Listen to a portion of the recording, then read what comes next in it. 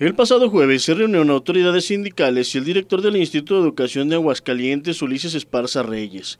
Esto con la finalidad de abordar el tema de la basificación de maestros que laboran en condiciones irregulares. Queja que días atrás llevó a una manifestación en las instalaciones del IEA. El secretario general de la sección 1 del CENTE, Ramón García Alviso, habló de lo provechoso de dicha reunión.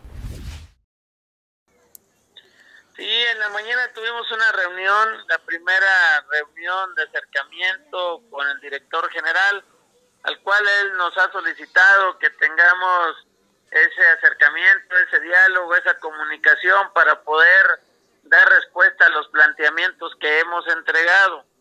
Eso lo platicamos en la mañana y el primer acuerdo fue que instaláramos una mesa de trabajo para abordar eh, dos temas principales, que es el tema de preescolar, lo de la rezonificación y la otra mesa que se instaló es con toda el área laboral por parte de la organización sindical y los jefes de departamento para revisar lo que corresponde a cada nivel educativo.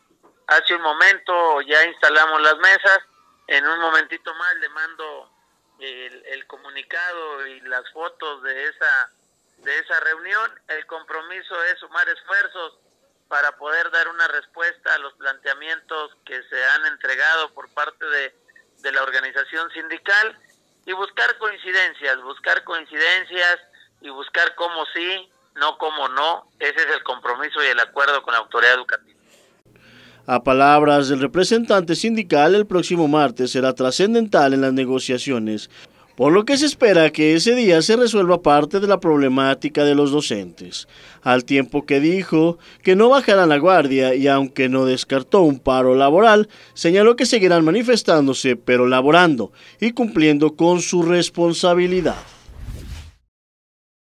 Claro, claro, la organización sindical siempre le ha apostado al diálogo, a los acuerdos, a avanzar en el tema educativo. Hoy no será la excepción. Aquí tenemos un magisterio responsable, comprometido con su tarea educativa.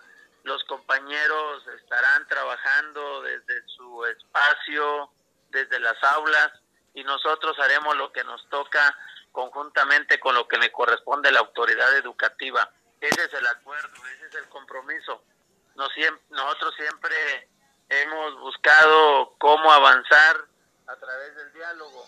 Pero bueno, en muchas ocasiones se requiere que se escuche la voz de los compañeros y la autoridad educativa eh, ha mostrado ese interés, esa disposición, esa voluntad para poder dar respuesta a los planteamientos que hemos entregado.